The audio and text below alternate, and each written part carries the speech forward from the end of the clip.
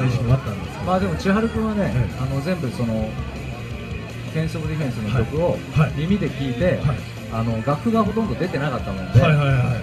そうですね。あのタイムぐらいしかないの。ないです。よタイムぐらいしかタイムぐらいしかない。そうなんですよね。えーそう。でジャンルなかなかないです。あの耳コピでね、はいはい。してあの全部その打ち込みを当時だから18年ぐらい前にもう DTM やってましたよ。なるほどねね、今は結構ねみんなそうですよね。できちゃう。当時だからそれできる人本当にいなくて。本当そうですよね。打ち込みできる人っていなかったんですよねそれだけでなんかねああまあそうですよね。もうそういった意味でバンドにこうね、えー超花形みたいになりますもんね。そうそうへえまたねこうインカムをねこうつけながらあのドンカマってねはいはいトントンかトントンこここですねリズムながら耳で、はいで歌を歌うでみんなの歌を、あの音を聞くっていうだから3分ぐらいですよ同時にやっててだから本当に器用でしたよそうなんですね。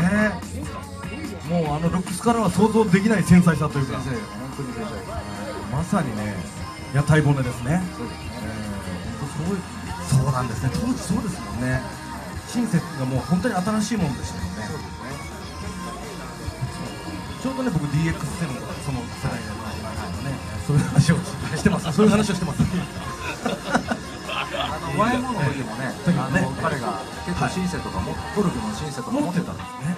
僕はそのシンセサイザーを借りてあのベースを弾いて当時はシンセからあのシンセで打ち込んだりしてましたよね。いや、えーあそうです。僕はでも手で弾いてました。プロフェッサーは手で弾いてました。すごい早弾きのところとかで、打ち込みのところもみんな手で弾いてでもうもう火火ながらシンセベースですよねもうねは人間がこう機械がどうすどうだけできるかみたいな感じでカチカチやってるすごいですねねもうそれより TM ネットワークより早かったかもしれないですよね。やってたのがね。なかリズムネットツアーっていうので、えーベーシストがね、えー参加できなくなっちゃってあその後のアクセスになるね朝倉大輔っていうのがシンセベースで参加するんですよね。そのツアーでね初めてシンセベースっていうそれ僕初めて見たの。その前のやつはい。シンセベース朝倉大輔より早い。だから本当は今日鍵盤を用意したかったんですけど、ちょっとなかった。なかったんですね。なかったので。いやちょちょそれ話聞くとちょっと見たくなりますねそのね。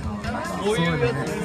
ねそのその なんかそのスタイリッシュなやつね見たいですヤマハのベース今度に。ああヤマハのね。ますね。まあこれが盛り上がれば第2弾もきっとあるでしょうということでね。ね本当にやりたいですけどそういうのねそれはそれでね、第2回やってってもいいんじゃない？か今日もね、だから僕もかなりこう、えやっぱりミスなんかもしたしね、バンドとして、まだまだやりたいなって。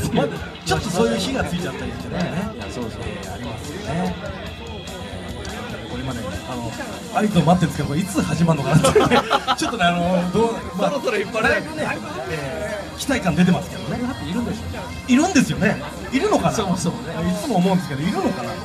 まあほとんどの時間着替えというね大変な時間に割きますから。あの、衣装がね、衣装がねすごいですからね。え楽器より重いんじゃないかっていう印象で持ってるんですからね。当時ねそういう僕が会った時もねやっぱねバンドがすごくあの盛り